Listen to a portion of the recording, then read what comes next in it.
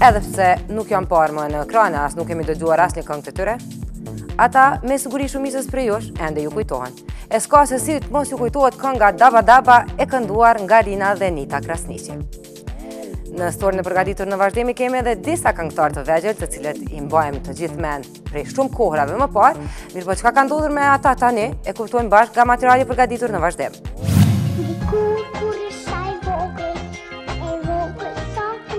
Këtë këngë e njohim të gjithë.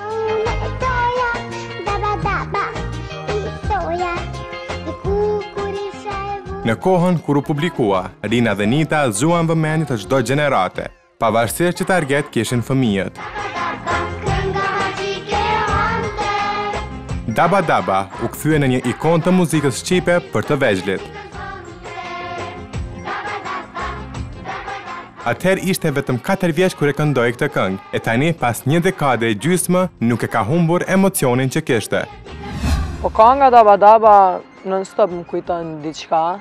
Non stop më shtyn përpara edhe e kom përmas t'njëjtën kohë. është një kangë që krejt e njohin edhe mu më njohin përmes saj.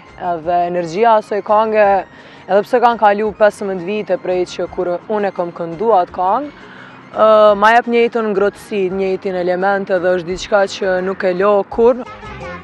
Nga ajo periudha e artë që ka shijuar, ka diçka që i mungon Rinës, pavarësisht faktit se kanë kaluar shumë vite.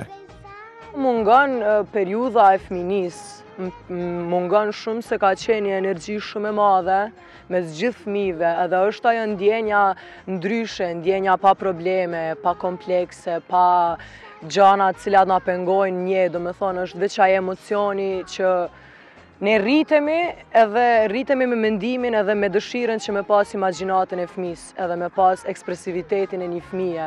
Ndoshta mungon që ajo periudhë ma shumë. Sot ajo është e përkushtuar ndaj studimit dhe po vijon fakultetin që ka zgjedhur.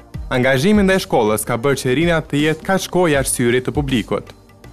Faktikisht nuk jam shkëput nga skena, se në skenë kom qenë gjithnjë dhe jam n'skenë nëse jo përmes muzikës, përmes... Jam përmes sendeve tjera, përmes televizioneve, përmes intervistave, shfaqjeve që i bëj, ose filmave të cilat jem tuj i punu. Ndryshe, se unë jam në Akademinë e Arteve, kështu që jeta e kulturës edhe skenës edhe televizionit nuk ka mungu asnjëherë për mu. Kështu që nuk besoj që jam shkput, po ndoshta do riaktivizona edhe me një mënyrë shumë ma energjike. Edhe pse fokus aktual është studimi, rikthimi i saj do të ndodhë shumë shpejt, megjithëse një datë të saktë nuk e ka menduar. Unë kam shumë plane, e përqafoj shumë të ardhmen teme, edhe kam një synim shumë të qartë, Kështu që gjithsesi s'do të ndalem asnjëherë edhe gjithsesi do të bëj diçka të re. Pasi të shijojë sërish duartrokitjen e publikut, Rina ka menduar për një surprizë. Kënga Himni i fëmijëve e kënduar nga motrat Krasniqi para 15 vite, ka gjasa ta risjellë në një verzion të ri. Ajo le të mbetet pikëpyetje, nuk muj kurr konkretisht me folë Çka tek qysh kom plan me bo për atë kang.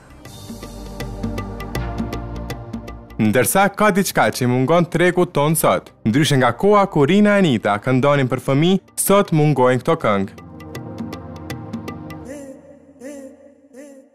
Mu më dhemb fakti që nuk ka kangë për fmi, se nuk mundesh m'u bo artist vetëm me një moshë shumë të madhe ke vendos m'u bo artist edhe po e bëj një kangë, është diçka që e rritë me kohë dhe po më vjen shumë keq që fmit ditës sodit nuk po munden qysh me shpreh atë talent që e kanë. Përpos motrave Krasniqi, fëmijëve atë kohë i kanë kënduar edhe Lindi Islami, i cili solli këngën Gëzuar atdhe.